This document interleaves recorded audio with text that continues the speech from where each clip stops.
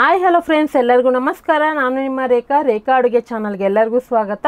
ಹೊಸದಾಗಿ ನಮ್ಮ ಚಾನಲ್ ನೋಡ್ತಾ ಇದ್ರೆ ಈಗಲೇ ಸಬ್ಸ್ಕ್ರೈಬ್ ಮಾಡ್ಕೊಳ್ಳಿ. ಬನ್ನಿ ಇವತ್ತು ಇನ್ಸ್ಟೆಂಟಾಗಿ ಪನ್ನೀರ್ ಬಿರಿಯಾನಿ ರೆಸಿಪಿ ತೋರಿಸ್ಕೊಡ್ತೀನಿ. ಬಿರಿಯಾನಿ ಅಂದರೆ ಯಾರಿಗೆ ತಾನೇ ಇಷ್ಟ ಇಲ್ಲ. ಅದರಲ್ಲೂ ಪನ್ನೀರ್ ಅಂತೂ ನನಗೆ ತುಂಬಾ ಇಷ್ಟ. ಸೊ ಖಂಡಿತ ನಿಮಗೆ ಇಷ್ಟ ಆಗಿದೆ ಪನ್ನೀರ್ನ ಈ ರೆಸಿಪಿನ ಲಾಸ್ಟ್ ಗಂಟೆನೂ ನೋಡಿ. ಯಾಕಂದರೆ ಪನ್ನೀರಲ್ಲಿ ಎಷ್ಟೋ ವೆರೈಟಿ ರೆಸಿಪಿಗಳನ್ನ ತೋರಿಸಿದ್ದೀನಿ. ಆದರೆ ಇನ್ಸ್ಟೆಂಟ್ ಬಿರಿಯಾನಿ ನೀವು ಟ್ರೈ ಮಾಡಲೇಬೇಕು. ಸೊ ಟ್ರೈ ಮಾಡಿ ಯಾವ ಥರ ಇತ್ತು ಅಂತ ಕಮೆಂಟ್ ಮಾಡಿ. ಹಾಗೆ ಲೈಕ್ ಮಾಡಿ ಶೇರ್ ಮಾಡಿ. ಬನ್ನಿ ಇವಾಗ ಯಾವ ರೀತಿ ಮಾಡೋದಂತ ನೋಡ್ಕೊಬರೋಣ ಇದು ಮಾಡೋದಕ್ಕೆ ಸ್ಟವ್ ಮೇಲೆ ಒಂದು ಕಡಾಯಿ ಇಟ್ಕೊಂಡು ಅದಕ್ಕೆ ಒಂದು ಟೇಬಲ್ ಸ್ಪೂನ್ ಎಣ್ಣೆ ಹಾಕ್ಕೊಂಡಿದ್ದೀನಿ ಎಣ್ಣೆ ಬಿಸಿ ಆದಮೇಲೆ ಇಲ್ಲಿ ನಾನು ಒಂದು ನೂರು ಗ್ರಾಮ್ ಆಗೋಷ್ಟು ಪನ್ನೀರ್ನ ಚಿಕ್ಕ ಚಿಕ್ಕದಾಗಿ ಕ್ಯೂ, ಕ್ಯೂಬ್ಸ್ ಆಗಿ ಕಟ್ ಮಾಡಿ ಹಾಕ್ಕೊಂಡಿದ್ದೀನಿ ಸೊ ಇವಾಗ ಒಂದು ಪ್ಯಾಕೆಟ್ ಬರುತ್ತಲ್ವ ಪನ್ನೀರು? ಅದರಲ್ಲಿ ನಾನು ಅರ್ಧ ಭಾಗದಷ್ಟು ತೊಗೊಂಡಿದ್ದೀನಿ. ನೀವು ಜಾಸ್ತಿ ಕೂಡ ತೊಗೊಬೋದು. ಪನ್ನೀರ್ನ ಫ್ರೈ ಮಾಡೋವಾಗ ಕಾಲು ಟೀ ಸ್ಪೂನ್ ಉಪ್ಪು, ಕಾಲು ಟೀ ಸ್ಪೂನ್ ಆಗೋಷ್ಟು ಪೆಪ್ಪರ್ ಪುಡಿ ಹಾಕ್ಕೊಳ್ಳಿ ನಿಮಗೆ ಪನ್ನೀರ್ ತಿನ್ನೋವಾಗ ಸಪ್ಪೆ ಅನಿಸೋದಿಲ್ಲ. ಉಪ್ಪು ಖಾರ ಇದ್ದರೆ ಚೆನ್ನಾಗಿರುತ್ತೆ ತಿನ್ನೋದಕ್ಕೆ. ಮತ್ತು ಇವಾಗ ನಾವು ಲಂಚ್ ಬಾಕ್ಸಿಗೆ ಒಂದು ಡಿಶ್ ಮಾಡಿಕೊಂಡ್ರೆ ಅದಕ್ಕೊಂದು ಸೈಡ್ ಡಿಶ್ ಆಗಿ ಕೂಡ ಎಕ್ಸ್ಟ್ರಾ ಮಾಡಬೇಕಾಗುತ್ತೆ. ಆದರೆ ಈ ಥರ ನೀವು ಮಾಡಿದ್ರೆ ಯಾವುದೇ ರೀತಿ ಎಕ್ಸ್ಟ್ರಾ ಸೈಡ್ ಡಿಶ್ ಬೇಕಾಗೋದಿಲ್ಲ. ಇದರಲ್ಲೇ ರೈಸ್ ಜೊತೆನೇ ಪನ್ನೀರ್ ಕೂಡ ಆ್ಯಡ್ ಮಾಡಿದ್ರೆ ನಿಮ್ಗೆ ಎರಡು ಕಾಂಬಿನೇಷನಲ್ಲಿ ತಿನ್ನೋದಕ್ಕೆ ಚೆನ್ನಾಗಿರುತ್ತೆ. ಇದನ್ನು ಮೀಡಿಯಂ ಫ್ಲೇಮಲ್ಲಿ ಒಂದು ಎರಡರಿಂದ ಮೂರು ನಿಮಿಷ ಚೆನ್ನಾಗಿ ಫ್ರೈ ಮಾಡಿ ಇದನ್ನು ಒಂದು ಪ್ಲೇಟಲ್ಲಿ ಎತ್ತಿಟ್ಕೊತೀನಿ. ಮತ್ತು ಅದೇ ಕಡಾಯಿಗೆ ಒಂದೂವರೆ ಟೇಬಲ್ ಸ್ಪೂನ್ ಆಗೋಷ್ಟು ಎಣ್ಣೆ ಹಾಕ್ಕೊತಾ ಇದ್ದೀನಿ ಸೊ ಬಿರಿಯಾನಿ ಅಂದಮೇಲೆ ನಿಮಗೆ ತುಪ್ಪ ಇಷ್ಟ ಆಗೋದಾದರೆ ತುಪ್ಪ ಕೂಡ ಹಾಕ್ಕೋಬೋದು. ನಾನು ಇವತ್ತು ಬೇರೆ ಎಣ್ಣೆನಲ್ಲಿ ತೋರಿಸ್ತಾ ಇದ್ದೀನಿ ಕಾಲು ಟೀ ಸ್ಪೂನ್ ಜೀರಿಗೆ, ಒಂದೇ ಒಂದು ಮರಾಠಿ ಮೊಗ್ಗು. ಕಾಲು ಟೀ ಸ್ಪೂನ್ ಕಲ್ಲುವ ಒಂದು ಪಲಾವ್ ಎಲೆ, ಒಂದು ನಾಲ್ಕು ಪೀಸ್ ಚಕ್ಕೆ, ಎರಡು ಲವಂಗ, ಒಂದು ಏಲಕ್ಕಿ ಹಾಕ್ಕೊತಾ ಇದ್ದೀನಿ. ಹಾಕ್ಕೊಂಡು ಇದನ್ನು ಚೆನ್ನಾಗಿ ಫ್ರೈ ಮಾಡ್ಕೊಳ್ಳೋಣ. ಚೆನ್ನಾಗಿ ಅಂದರೆ ಐ ಫ್ಲೇಮಲ್ಲಿ ಇಟ್ಟು ಮಾಡೋಕ್ಕೆ ಹೋಗ್ಬಾರ್ದು, ಸೀದೋಗ್ಬಿಡುತ್ತೆ. ಹಾಗೆ ಇದಕ್ಕೆ ಒಂದು ದೊಡ್ಡ ಸೈಜ್ ಈರುಳ್ಳಿನ ಸ್ಲೈಸ್ ಆಗಿ ಕಟ್ ಮಾಡಿ ಹಾಕ್ಕೊತಾ ಇದ್ದೀನಿ. ಸೊ, ನಿಮಗೆ ಮಸಾಲೆ ಥರ ಜಾಸ್ತಿ ಬೇಕು ಅನ್ನೋದಾದರೆ ನೀವು ಸ್ವಲ್ಪ ತರತರಿಯಾಗಿ ರುಬ್ಬಿಟ್ಟು ಕೂಡ ಹಾಕೋಬೋದು.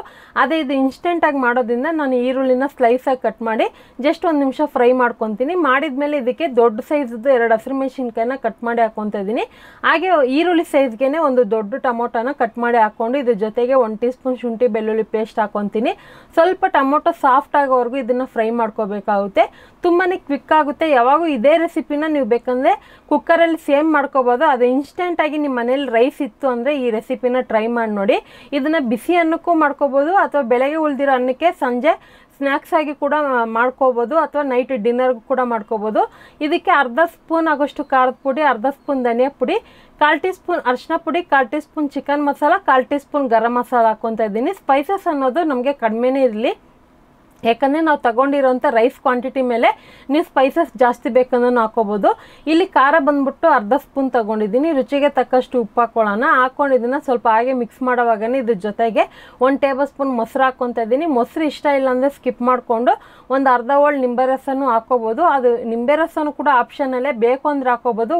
ಮೊಸರು ಹಾಕೋದ್ರಿಂದ ಒಂದು ಬಿರಿಯಾನಿ ಫ್ಲೇವರ್ ಕೊಡುತ್ತೆ ಟೇಸ್ಟ್ ಕೊಡುತ್ತೆ. ಈಗ ಇದನ್ನು ಚೆನ್ನಾಗಿ ಫ್ರೈ ಮಾಡುವಾಗೇ ಇದ್ರ ಜೊತೆಗೆ ಒಂದು ಎರಡು ಟೇಬಲ್ ಸ್ಪೂನ್ ನೀರು ಹಾಕ್ಕೊಂಡು ಆದಷ್ಟು ಇದನ್ನು ಮೀಡಿಯಮ್ ಟು ಲೋ ಫ್ಲೇಮಲ್ಲೇ ಫ್ರೈ ಮಾಡ್ಕೋಬೇಕು. ಪ್ರತಿಯೊಂದು ಮಸಾಲೆನಲ್ಲೂ ಹಸಿ ಸ್ಮೆಲ್ ಹೋಗಿ ಎಣ್ಣೆ ರಿಲೀಸ್ ಆಗಬೇಕು. ಆವಾಗೇ ನಮಗೆ ಆ ಮಸಾಲೆ ಘಮ ಗೊತ್ತಾಗುತ್ತೆ. ಈಗ ಇದಕ್ಕೆ ನಾನು ಆಲ್ರೆಡಿ ಫ್ರೈ ಮಾಡಿರುವಂಥ ಪನ್ನೀರ್ನ ಹಾಕ್ಕೊತಾ ಇದ್ದೀನಿ. ಹಾಗೆ ಇದ್ರ ಜೊತೆಗೆ ಒಂದು ಎರಡು ಸ್ಪೂನ್ ಆಗೋಷ್ಟು ಪುದೀನ, ಒಂದು ಎರಡು ಸ್ಪೂನ್ ಆಗೋಷ್ಟು ಕೊತ್ತಂಬರಿ ಸೊಪ್ಪನ್ನ ಚಿಕ್ಕ ಚಿಕ್ಕದಾಗಿ ಕಟ್ ಮಾಡಿ ಹಾಕ್ಕೊತಾ ಇದ್ದೀನಿ. ಸುಮಾರು ಒಂದೊಂದು ಕಡ್ಡಿ ಆಗೋಷ್ಟು ತಗೊಂಡಿದ್ದೀನಿ ನಾನು. ಇದನ್ನು ಫ್ರೈ ಮಾಡ್ಕೊಳ್ಳೋಣ. ಆವಾಗ ನಮಗೆ ಆ ಪುದೀನ ಫ್ಲೇವರು ಕೊತ್ತಂಬರಿ ಫ್ಲೇವರ್ ಹಾಗೇ ಇರುತ್ತೆ. ಈಗ ಇದನ್ನು ಫ್ರೈ ಮಾಡಿದ ಮೇಲೆ ಸ್ಟವ್ನ ಲೋ ಫ್ಲೇಮಲ್ಲಿ ಇಟ್ಕೊಂಡು ನಾನು ಮುಂಚೆನೇ ಅನ್ನ ಮಾಡಿ ಇಟ್ಕೊಂಡಿದ್ದೀನಿ ನಿಮಗೆ ಗೊತ್ತಿರ್ಬೋದು, ನಾನು ವೆರೈಟಿ ರೈಸ್ ಒಂದೊಂದು ಸರಿ ಮಾಡಿದಾಗ ಬಾಸುಮತಿ ಅಕ್ಕಿನೂ ಯೂಸ್ ಮಾಡ್ತೀನಿ. ಇದು ಬಂದ್ಬಿಟ್ಟು ತುಂಬ ಜನ ಕೇಳ್ತಾ ಇರ್ತೀರ ಕಮೆಂಟಲ್ಲಿ ಸೊ ಡಿ ಮಾರ್ಟಲ್ಲಿ ಬಿರಿಯಾನಿ ರೈಸ್ ಅಂತಲೇ ಲೂಸಲ್ಲಿ ಸಿಗುತ್ತೆ. ಅದನ್ನು ನಾನು ಯೂಸ್ ಮಾಡೋದು. ನಿಮಗೊಂದು ಯಾವಾಗೂ ಕಮೆಂಟಲ್ಲಿ ಕೇಳ್ತೀರಾ ಅಂತ ಹೇಳ್ತಾ ಇದ್ದೀನಿ. ಸೊ ಪ್ಯಾಕೆಟ್ದಾದರೆ ನಿಮ್ಗೆ ಈ ಥರ ಪರ್ಫೆಕ್ಟಾಗಿ ಬರೋದಿಲ್ಲ. ಹಾಗೆ ನಾನು ಯಾವ ರೀತಿ ಬಾಸುಮತಿ ಅಕ್ಕಿಯಲ್ಲಿ ಅನ್ನ ಮಾಡೋದು ಅಂತ ಕೂಡ ನಿಮಗೆ ತೋರಿಸಿದ್ದೀನಿ ನೋಡಿಲ್ಲ ಅಂದರೆ ಒಂದ್ಸರಿ ಚೆಕ್ ಮಾಡ್ಕೊಳ್ಳಿ. ಸೊ ಈ ಥರ ಉದ್ರುದ್ರಾಗಿದ್ರೇ ಚೆನ್ನಾಗಿರುತ್ತೆ. ಅಥವಾ ನಿಮಗೆ ಇದೇ ಅಕ್ಕಿ ಅಂತಲ್ಲ, ನೀವು ಮನೆಯಲ್ಲಿ ರೆಗ್ಯುಲರಾಗಿ ಯಾವ್ದು ಯೂಸ್ ಮಾಡ್ತೀರೋ ಅದರಲ್ಲೇ ಕೂಡ ಮಾಡ್ಕೊಬೋದು.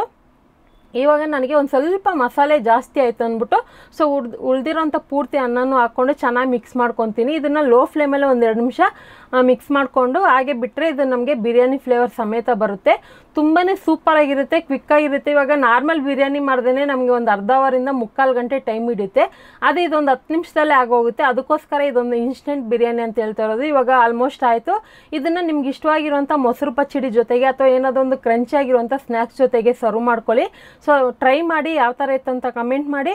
ಈ ವಿಡಿಯೋಗೆ ಒಂದು ಲೈಕ್ ಮಾಡಿ ಶೇರ್ ಮಾಡಿ. ರೇಖಾ ಅಡುಗೆ ಚಾನಲ್ನ ಹೊಸ್ದಾಗಿ ನೋಡ್ತಾ ಇದ್ದೆ ಸಬ್ಸ್ಕ್ರೈಬ್ ಮಾಡ್ಕೊಳ್ಳಿ. Thank you for watching bye